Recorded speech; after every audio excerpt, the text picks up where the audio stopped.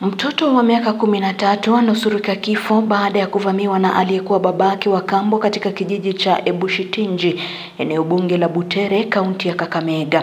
Francis Sakwa alimvamia mwanafunzi huyo akienda shuleni asubuhi na kumkata shingo kwa kisu.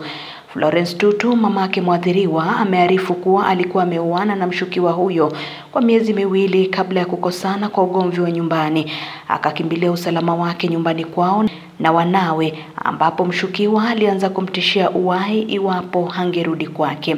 Mamake amehoji kwamba mwanawe alipiga kamsa ndiposa akaokolewa na msamaria mwema. Anahofia maisha yake kuwa hatarini, akirai serikali kumchukulia hatua kali ya kisheria. Naye two months na tulikosana tu makosao ya nyumba, na akanichomea vitu zangu. Akakuja nyumbani kuniomba msamaha, nikamwambia siwezi rudiana na yeye. Ndio aka akaanza kutembea akisema ya kwamba asipopata kichwa changu mimi atataki mtoto wangu mmoja. Aliataki mtoto wangu huyo Michelle. Vile alishika mtoto, mtoto alikuwa kwa barabara na akamvuruta akampeleka mali kwa shimo. Vile mtoto wangu alianza kupiga manduru, msamaria mwema akatokea akamwokoa, Huku daktari mkuu wa hospitali ya Butere Frederick Juma akisema majeruhi yalikuwa mabaya na wameshughulikia kwa sasa yuko salama. Kisa hicho kimeshutumiwa vikali na kiongozi wa shirika la kutetea haki za kibinadamu la Sumrin Dorin Brenda, huku akitaka adhabu kali kutolewa. Nataka kushutumu kisa hichi kwa sababu huyu mhalifu ni mtu ambaye ashawahi najisi mtoto wa Butere Girls miaka iliyopita akiwa form 2 akafungwa, sijui kulienda namna gani, akarudi.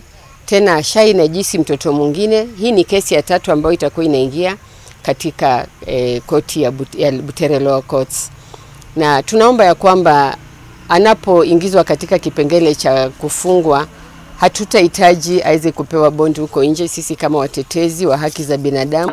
Kwa mujibu wa naibu wa chifu eneo hilo Bwana Owens Ochango, mshukiwa alikimbia na kujificha Hwisero na wameweza kumkamata na yuko katika kituo cha polisi eneo hilo. To kufikia around saa kumi saa kumi na moja tulipata habari kwamba Sakwa alikuwa katika area ya Mundo Berwa sublocation, ambapo assistant chief wa huko alitusaidia kumtia mbaroni na akamkabidhi kwenye kituo cha polisi cha Wisero ambapo alitolewa akaweza kuletwa kwa mikono ya polisi wa Butere.